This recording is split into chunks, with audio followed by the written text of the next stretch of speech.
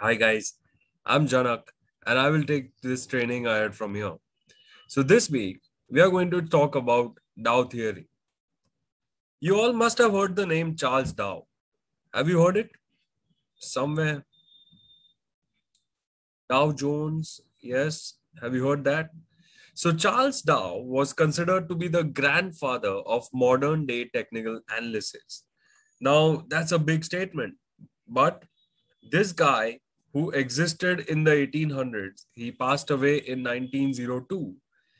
He made certain set of observations of the market, which forms the basis of technical analysis as we know and as we practice it today.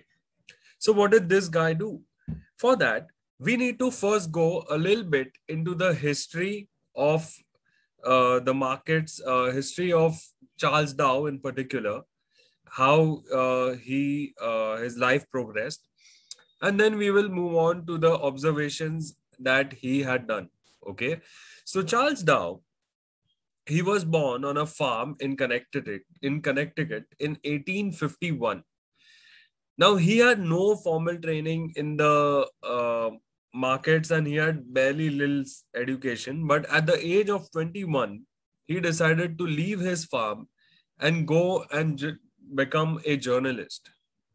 Now, Dow in particular, he was interested in uh, interviewing business owners, promoters, and he was more inclined towards business journalism as we know it.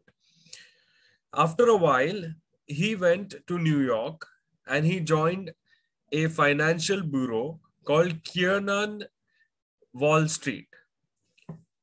Out there, after a certain, uh, after a short span of time, his friend Edward Jones, okay, he was his friend from his prior experience, prior days.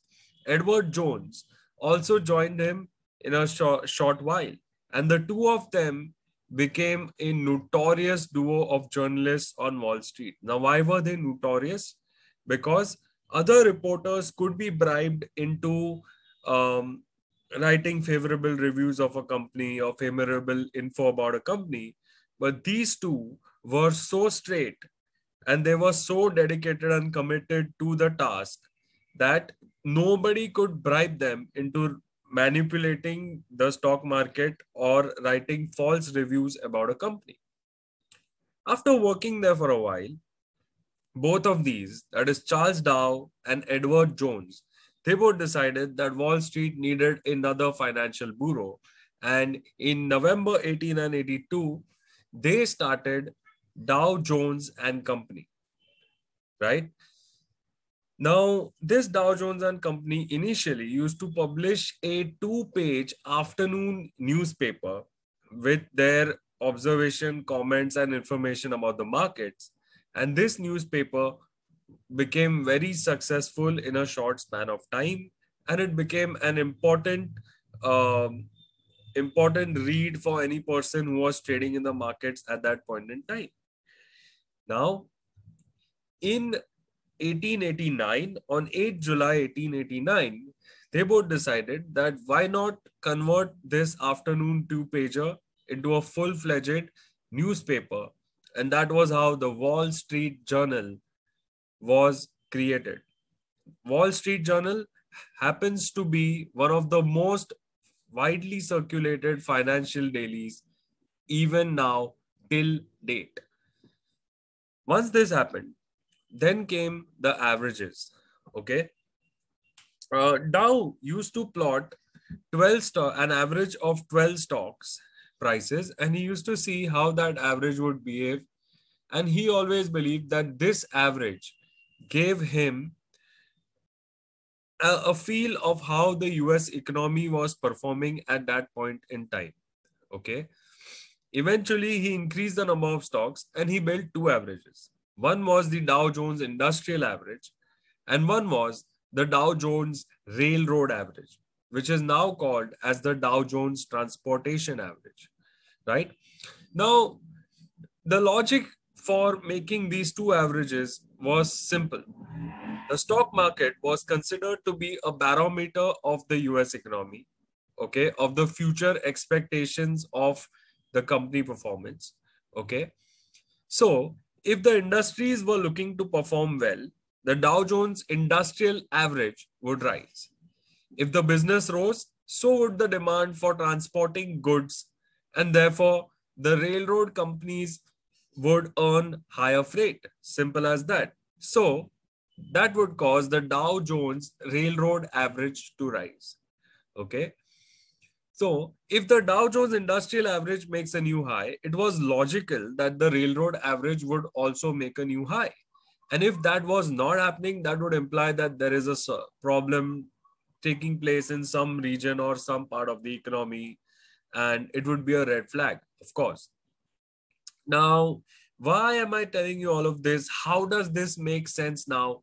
We will see all of this shortly when we discuss the six tenets or the six major observations that have come out from Dow's studies over the years. So, going back to history from 1896 till 1902, that was when Dow passed away.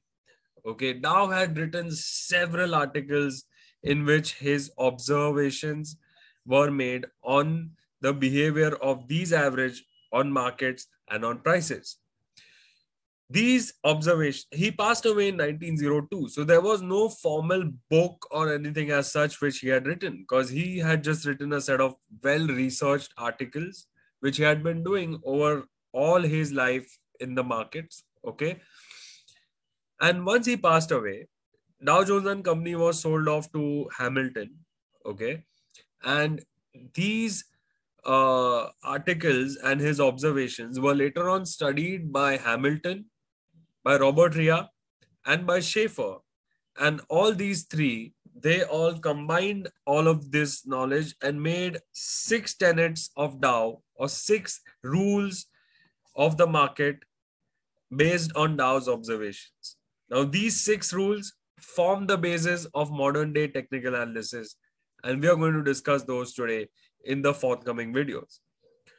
So, um, I will see you in the next video, guys. And um, quickly i just want to remind you to like subscribe and share this channel because the more likes we get the more motivated we are to give do a better job and give you premium good uh, information on uh, youtube.